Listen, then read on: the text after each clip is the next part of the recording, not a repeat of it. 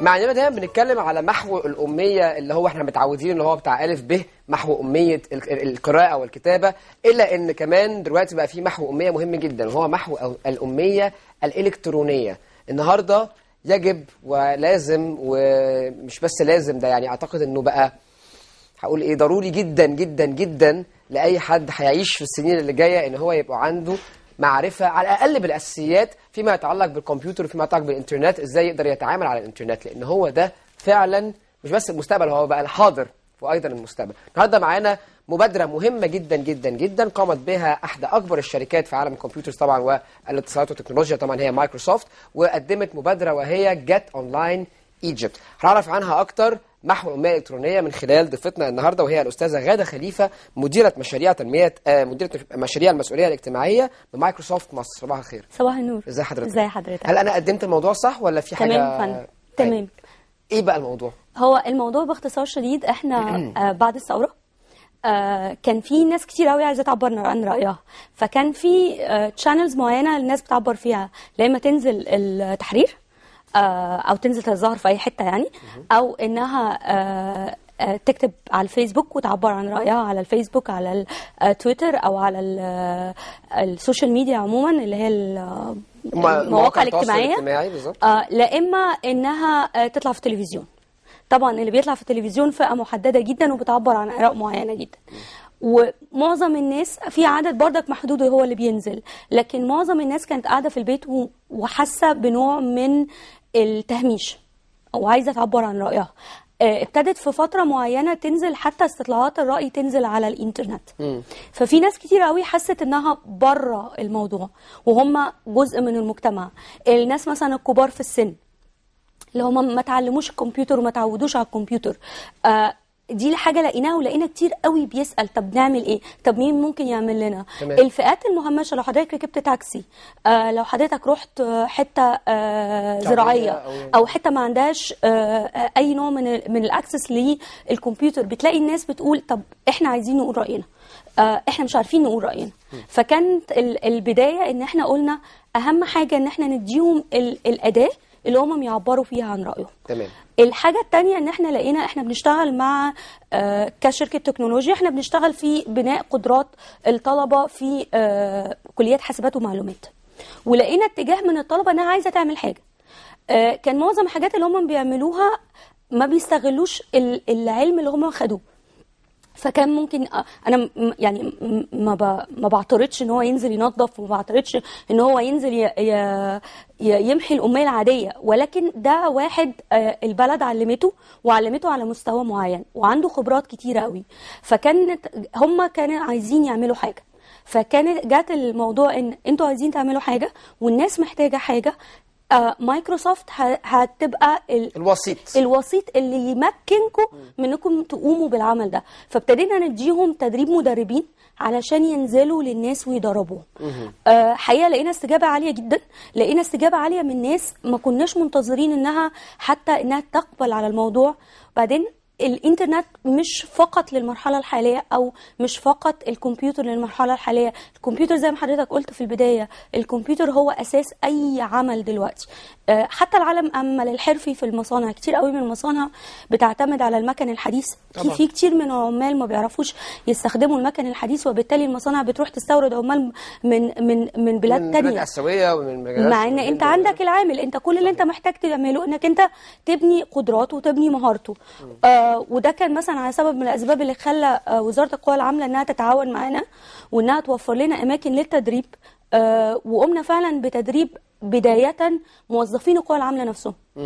طيب خلينا نتكلم بشكل أوسع. إحنا شايفين دلوقتي صوره المبادرة بدأت إزاي؟ الحملة بدأت إزاي؟ بأي خطوات ومن اي محافظات وبأي ترتيب؟ والعدد أو الدفعة الأولى اللي تم تخريجها محو أميتها إلكترو- الكترونيا كام يعني قولنا تفاصيل بقى. أوكي. ال... إحنا مبدئيا على أي حاجة بنعملها آه بنحب نعمل بايلوت صغير كده علشان نتست الدنيا ماشية إزاي. تجربة صغيرة يعني. تجربة. صغيرة. نتعلم منها آه. وبعد كده نقوم بنشر التجربة. لأن لو إحنا يعني لو دخلنا عملنا حاجة من غير ما نبقى آه، دارسينها كويس مش هطلع نتيجة كويسه فأول حاجة عملناها إن إحنا ابتدينا آه، في دول- بولاق والشرابية بالتعاون مع ال- القوى العامله وبالتعاون مع الطلبة في كليات هندسة.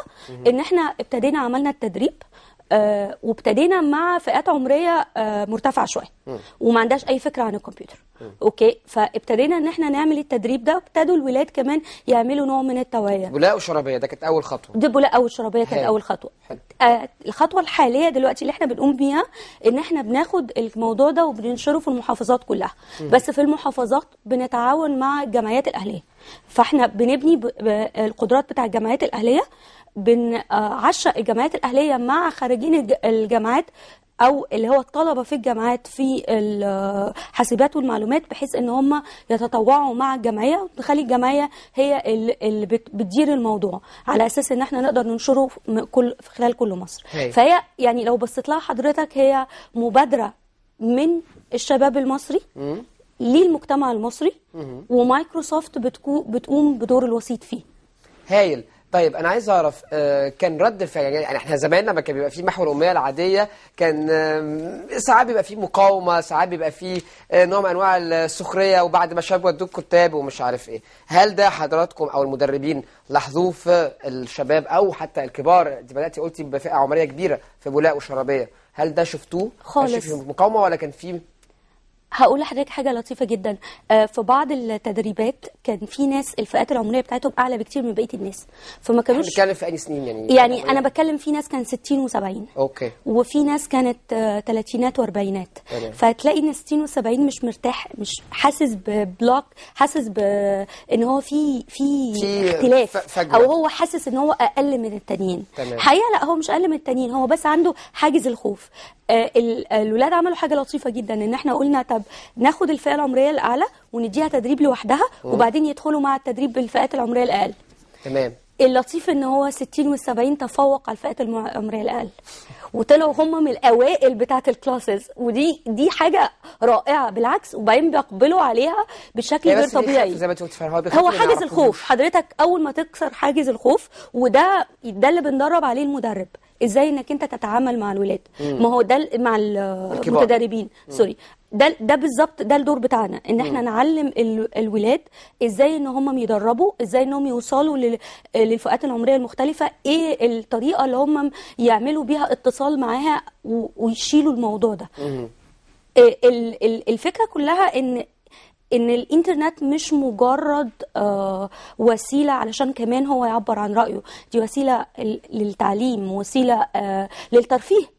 حتى الناس الكبار في السن وسيلة للترفيه وسيلة للاتصال مع الناس وبعضها وسيلة لتخفيض المصاريف حضرتك لو تتصور طبعاً. انت ممكن تعمل مكالماتك كلها على الإنترنت فيري. تشيب طبعاً. رخيصة جدا فالإنترنت عالم بحاله لكن العالم ده ما ينفعش يبقى للصفوة بس العالم ده لازم يمثل كل مصر ولازم يكون يكون فيه كل الفئات باختلاف آه، الخلفيات بتاعتها وباختلاف الاقتصاديات بتاعتها. طب عايز أسألك سؤال. آه كنا بنتكلم كنا بنقارن نعمل مقارنات بين تونس وبين مصر مؤخرا بمناسبه الانتخابات والوعي وكده. آه، تونس ال ال الاميه الإلكترونية فيها أو نسبة مستخدمي الإنترنت وصلت ما كان- كانت قبل ثورة تونس كانت 30 حاجة و30% بعد الثورة وصلت لحاجة و50% تقريبا. أنا مش عارف مش فاكر الإحصائية بالظبط بس في هذا ال ال الإطار يعني في هذه الأرقام.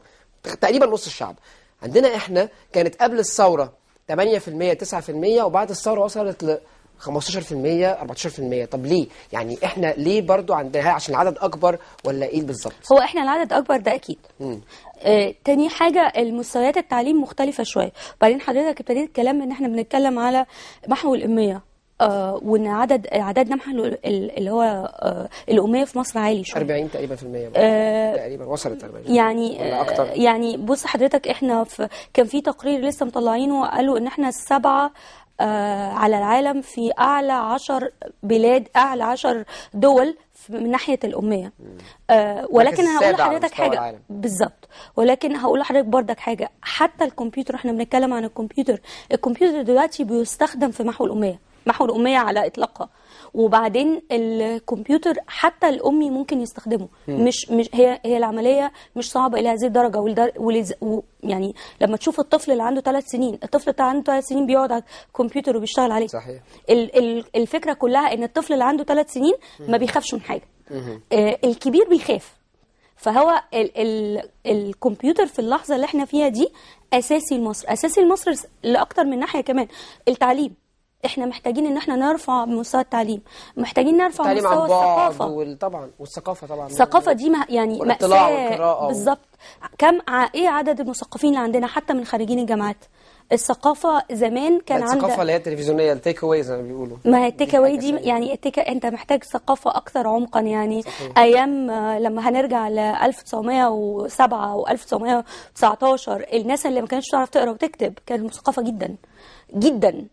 يعني آه، المستوى الثقافه كان عندنا في البلد عالي جدا. فدلوقتي لما يبقى عندنا عصر في الاتصالات متاحة بجميع أنواع آه، أنحاء العالم والكتب والمراجع وكلها متاحة على النت هل ينفع إن إحنا نبقى أقل ثقافة من قرن آه، فات؟ لا طبعا. يعني آه. طيب آه، خطوات اللي جاية في جات Online Egypt إيه اللي هيحصل؟ آه، خطة إيه؟ اولا أول دفعة زي ما إحنا قلنا كانت أنت قلتي بدأتوا الأول بعينة بعينة. شرابيه وبولاق آه. بعد كده بقى وصلنا لإيه و- آه، حصل؟ إحنا العينة كانت 100 العينة كانت 100 كانت 100 من مختلف الفئات العمرية ولا كانت فئات العمرية الأكبر؟ لا مختلف الفئات العمرية. أوكي. وتم تدريبهم آه، لمدة آه، 48 ساعة إزاي يستخدموا الكمبيوتر.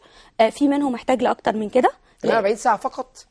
حضرتك مش محتاج يعني يعني البداية الاميه إلكترونية. 48 ساعة. سهلة جدا. تعملوا كده يعني بقى تعلم الكمبيوتر في 48 هقول لحضرتك حاجة أسهل وأسهل. أوكي؟ في آه، آه، مايكروسوفت عاملة آه، آه، برنامج تدريب آه، آه، على الكمبيوتر. تدريب ممكن تعمله شخصي إنك أنت تخش وتعمل محو الأمية ده.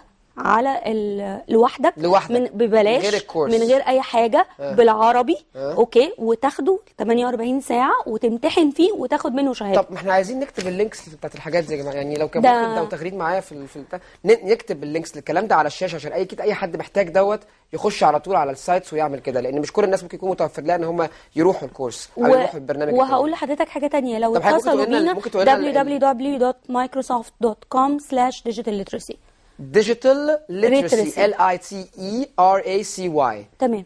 digital literacy معلش خليكم معانا اكتبوا www.microsoft m i c r o s o f t .com slash Digital digital d i g i t e l literacy. L i t r e صح؟ Literacy. L I T E R A C Y. وأقول يعني لحضرتك اكتبها على حاجة. تانية برضك؟ قولي. أي حد عايز copy offline copy printed آه، يعني سواء مطبوع. مطبوعه أو سواء في ال e-learning format اللي هو ممكن يزا- يعمله لوحده CD أو كده. أو أي حاجة آه. يبعت لنا ايميل على egypt csr at microsoft.com إحنا بنديها CSR at microsoft.com at microsoft.com يعني برضه يا ريت نكتب الحاجات دي على الشاشة يا جماعة. و- Egypt CSR at microsoft.com وأي حد عايز ان أي جمعية عايزة تدريب مدربين برضك إحنا بندي الموضوع دوت. آه ده جزء من المسؤولية الاجتماعية بتاعنا فكل حاجة بتبقى مجانا ما بنتقاضاش أي حاجة في أي حاجة. آه ال الكري ال المنهج التواصل مع, معتمد. مع الشركة على طول صح؟ أو مع آه. المؤسسة. آه. أوكي آه. تمام. وإحنا على فكرة عندنا شباب الشباب ده م- آه بيشتغل معانا. آه إحنا بن بنرعى الشباب الخ- آه في الك- كليات حاسبات ومعلومات من سنة أولى. لحد ما يتخرجوا. والغرض من الرعاية ديت إن إحنا نديهم تدريبات بحيث إن إحنا نقفل الفجوة ما بين التعليم العادي أو التعليم الحكومي واحتياجات سوق العمل. تمام. فال اتفضلي. نكمل آه، فالولاد أما أما بيتخرجوا بيبقوا على مستوى عالي جدا. ممكن إن هم يتنافسوا مع أي حد في العالم. يعني خليني أقول بس الحاجة اللي تفرح أكيد. ان الولاد دولت يعني آه السنة اللي فاتت كانوا في أمريكا بيتنافسوا مع فرق من جميع أنحاء العالم من جميع البلاد المتقدمة مش فقط البلاد النامية أو أو أو لأ كانوا على نفس المستوى. فده الشباب اللي بينزل وده الشباب اللي بيعلم الناس. هايل هايل